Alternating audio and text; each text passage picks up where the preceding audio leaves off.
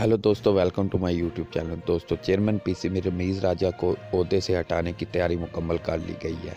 रमीज़ राजा साहब जल्द ही कमेंट्री की दुनिया में वापस आने वाले हैं।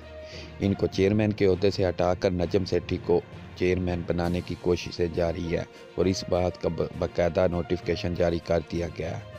दोस्तों, मज़ीद ऐसी अपडेट्स के लिए हमारे चैनल के साथ जुड़े रहें। इस चैनल को सब्सक्राइब कर दें, इस वीडियो को लाइक कर दें और ज़्यादा से ज़्यादा शेयर कर दें। शुक्रिया।